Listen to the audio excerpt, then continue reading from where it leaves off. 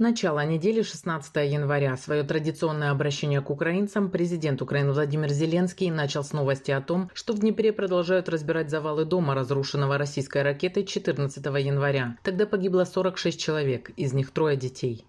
Те, що сталося у Дніпрі, То, что произошло в Днепре, то, что Россия готовит новую попытку перехватить инициативу в войне, то, что характер боевых действий на фронте требует новых решений в оборонных поставках, все это только подчеркивает, как важно координировать наши усилия всех участников коалиции защиты Украины и свободы и ускорять принятие решений. 18 января около 9 утра под Киевом в Броварах во время полета министра внутренних дел Украины Дениса Монастырского и его команды в одну из горячих точек Украины вертолет потерпел крушение.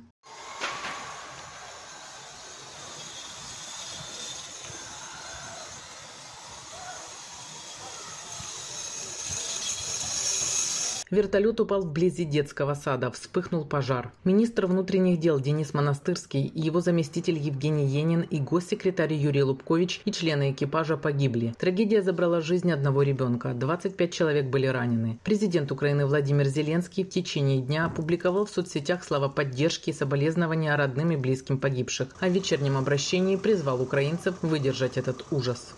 Ми втратили людей, які були професіоналами. Мы потеряли людей, которые были профессионалами, патриотами, надежными руководителями. Министр Денис Монастырский, Евгений Енин, их коллеги, погибшие в катастрофе, это не те люди, которых можно легко заменить. Действительно большая потеря для государства. Мои соболезнования родным. Выступая на Всемирном экономическом форуме в Давосе в тот же день, 18 января, глава государства коснулся трагедии в Броварах и подчеркнул, что в Украине больше нет несчастных случаев. Все это результат войны. Чтобы ее завершить, Зеленский в онлайн-обращении на сессии восстановления безопасности и мира обратился к мировым лидерам и призвал действовать быстрее, чтобы опередить новые агрессивные шаги России. The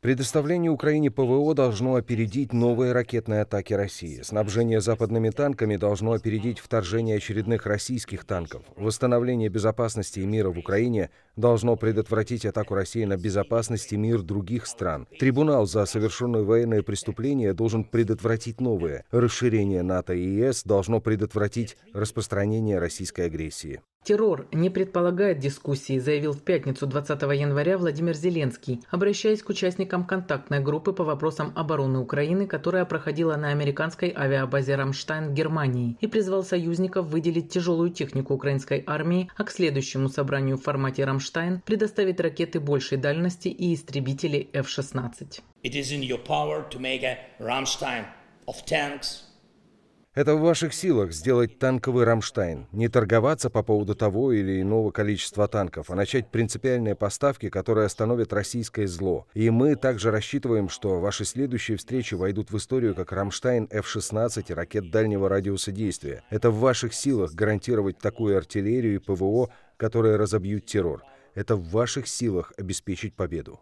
По итогам восьмого заседания союзников Украины на базе «Рамштайн» президент отметил, что Украине еще придется побороться за поставки современных танков. Но дипломатический марафон продолжается. И по словам министра обороны Германии Бориса Писториуса, он поручил своему министерству подготовиться ко дню, который, возможно, наступит. Мы примем решение как можно быстрее, и, как я уже говорил, мы поддерживаем Украину в очень-очень большой степени, и мы будем продолжать это делать. Генеральный секретарь НАТО Йенс Столтенберг заявил 20 января, что странам, поддерживающим Украину, необходимо сосредоточиться не только на отправке нового оружия Киеву, но и на поиске боеприпасов для старых систем и помощи в их обслуживании.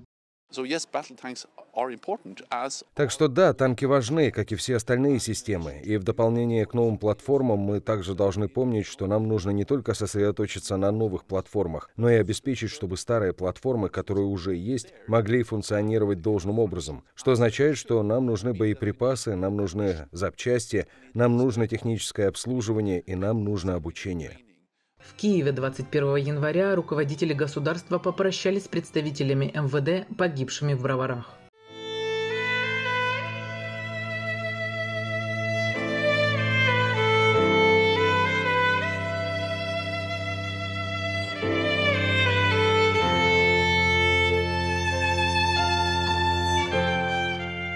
Глава государства и первая леди возложили цветы и выразили соболезнования семьям погибших. Наталья Белокудря, Евгений Кармазин для телеканала Freedom.